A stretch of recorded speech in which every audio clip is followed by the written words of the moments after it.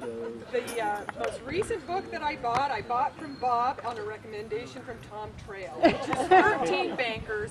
And if you haven't read it, you have to go to Book People and buy it now. It's, it's, it's a very important, it uh, should be recommended reading for anybody everywhere in this country. It's, it's uh, very important.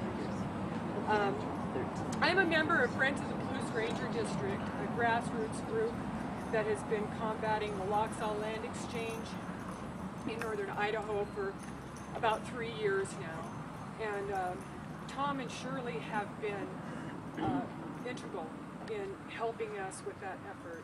I don't know how we could have really uh, accomplished any of the things that we've been able to accomplish to date uh, without their support.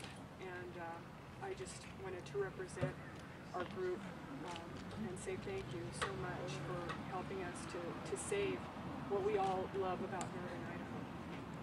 Um, it's not over. It's still ongoing. Um, there's, it's, it's a very complex issue and, and uh, many changes are going on and I encourage all of you to um, stay abreast of, of the Lochsa Land Exchange and uh, I'm sure Tom and Shirley will be happy to, uh, to fill you in um, with any information that you may need in regard to it. It's a very important issue. Uh, again, thank you both so much for, for your help and support and all you've done over the years and, and on this issue.